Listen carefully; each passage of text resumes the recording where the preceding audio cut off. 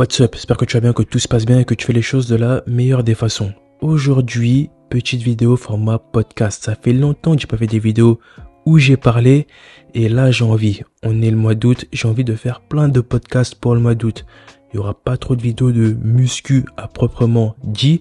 Il y aura peut-être des conseils muscu des podcasts muscu parce que là, je m'entraîne sans me filmer, histoire de récupérer une bonne condition et de me réhabituer m'entraîner parce que j'ai passé ces deux derniers mois à faire beaucoup de contenu pour mes chaînes YouTube et je me suis peu entraîné sérieusement. Et là, j'ai vraiment envie de me faire mal parce que c'est important. Cependant, j'ai quand même consacré deux jours de ma semaine à faire des vidéos de sport filmées, mais je pense que ça va être des programmes pour ma chaîne secondaire. Je verrai s'il y a une petite vidéo de sport que j'ai envie de sortir sur ma chaîne principale, je la sortirai, mais je pense plus qu'on va faire pas mal de contenu cool la chaîne secondaire. D'ailleurs, n'hésite pas à t'abonner et aller sur la chaîne YouTube Dame Jordan Training si tu veux des programmes complets et gratuits. Cette chaîne est faite pour ça, pour qu'on s'entraîne ensemble. Aujourd'hui, le thème de ce podcast, c'est la négociation. Que ce soit en entreprise ou alors en auto-entreprise, c'est important.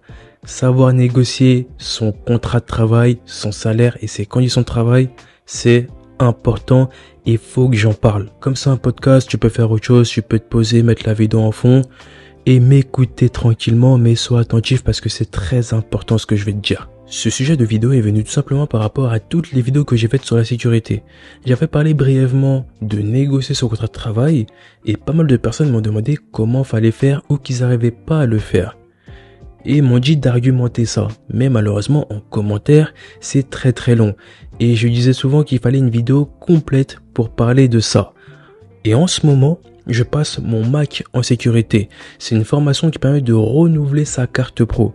Parce que quand tu travailles en sécurité, tu une carte pro qui est valide 5 ans si je me trompe pas et tu dois la renouveler avec un Mac.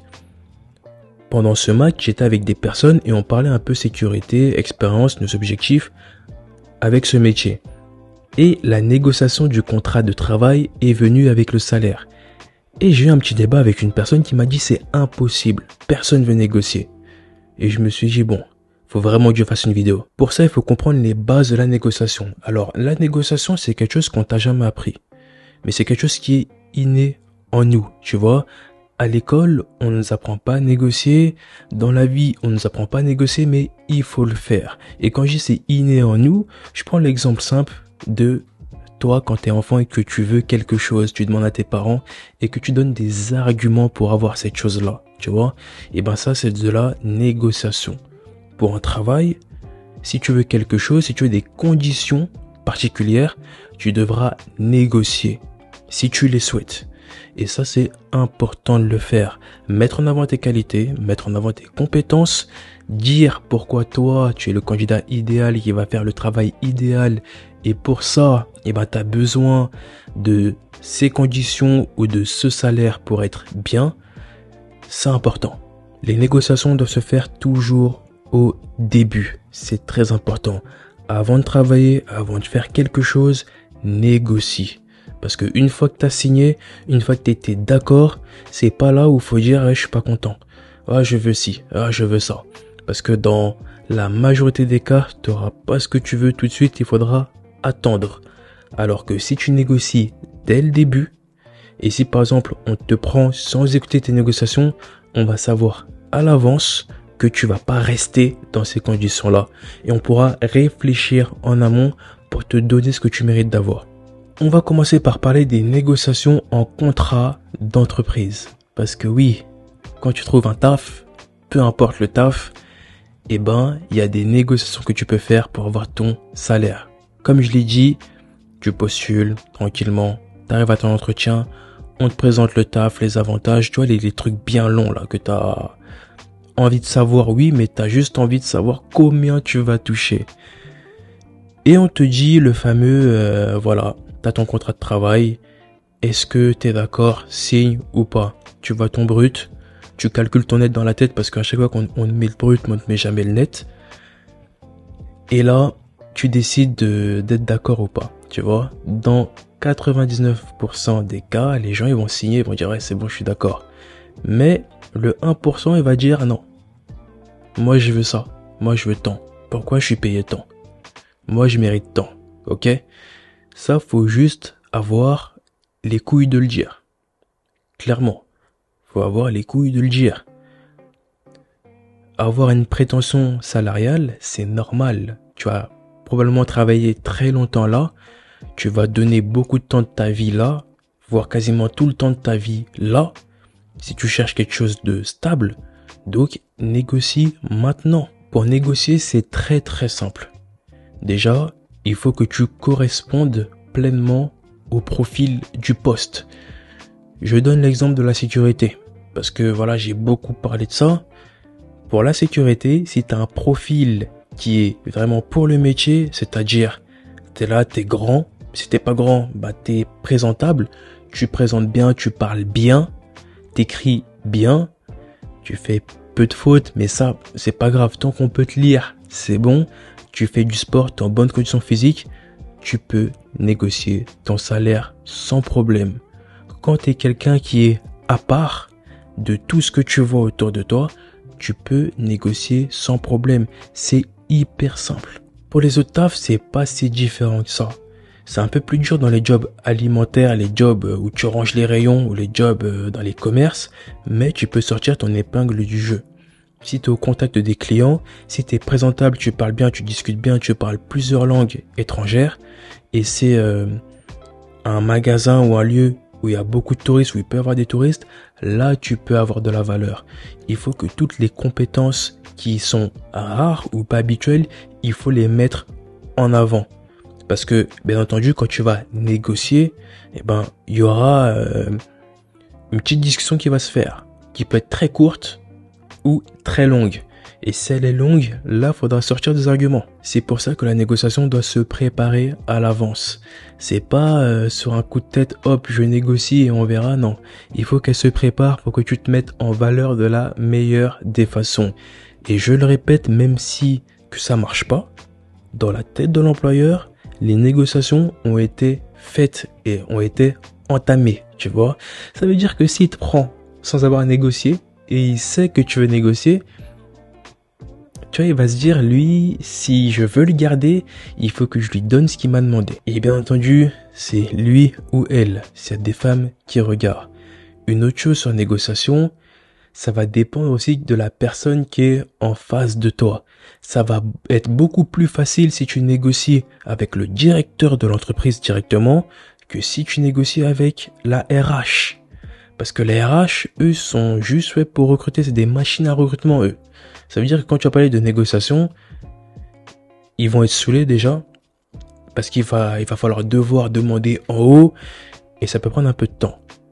Mais, certaines RH, ils ont ce qu'on appelle, enfin, ce que moi j'appelle un budget employé à pas dépasser, ou si jamais lui négocie, je peux monter jusqu'à temps. Tu vois? Et ça, ça dépend des boîtes. En, général, c'est plus la boîte est grosse, plus les RH sont briefés à ça, et plus la boîte est petite, plus euh, là, faudra monter plus haut et tout, et ça va être euh, chiant, mais faut le faire quand même. Moi, je te cache pas, dans tous les tafs où je sais que je vais pas rester longtemps, je négocie pas. Je me dis, je veux juste travailler, je vais aller vite. Donc, je viens, je me présente, je négocie pas, je reste, je fais ce que j'ai à faire et je me barre. Concrètement, parce que si c'est un taf, tu comptes pas rester, tu négocies et tout, ça va prendre beaucoup de temps, tu peux te manger un refus pour rien, parce que oui, le fait de négocier, bah, tu peux te manger un refus. Mais quand tu es pressé, en vrai, enfin, quand je suis pressé, je négocie pas. Quand je sais que je vais rester longtemps, eh ben, je sors la petite négociation, la petite phrase qui fait que on verra plus tard. Ou alors on négocie maintenant. En sécurité, je négocie direct. Si je sais que j'ai pas ce que je veux et que le poste à pourvoir c'est un poste qui va pas me plaire, eh ben je sais que je vais pas bosser dedans. Et je te le dis maintenant, si tu me vois demain en vigile magasin arrière-caisse, c'est que je touche plus de 2000 euros par mois. Clairement.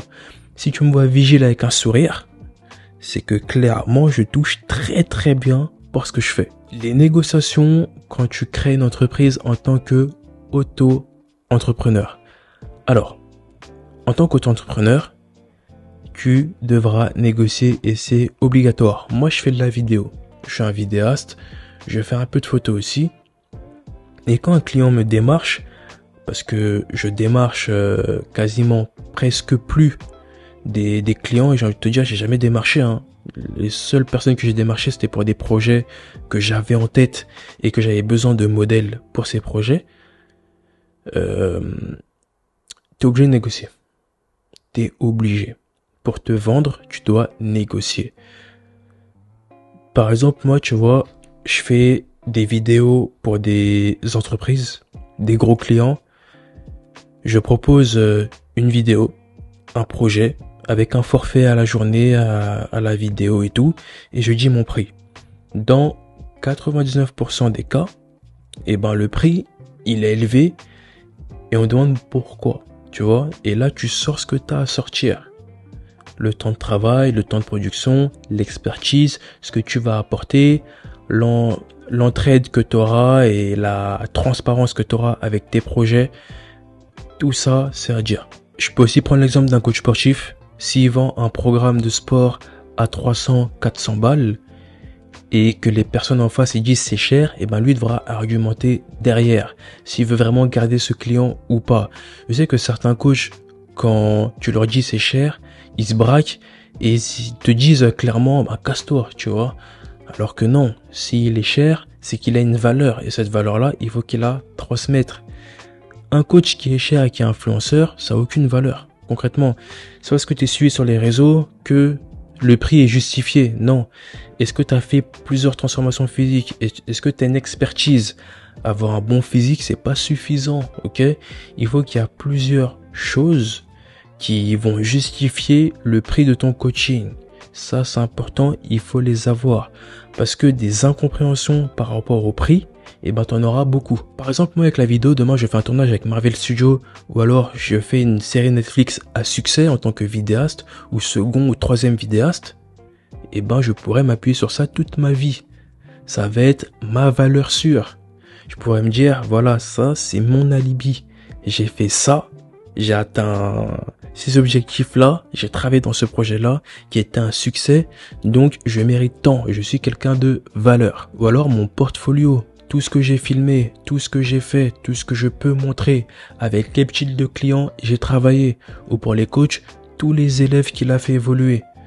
Tout ça, ça rentre en compte et c'est des valeurs sûres. C'est des choses que tu peux regarder. Maintenant, parlons des erreurs en négociation. Parce que oui, il y a des erreurs à pas faire.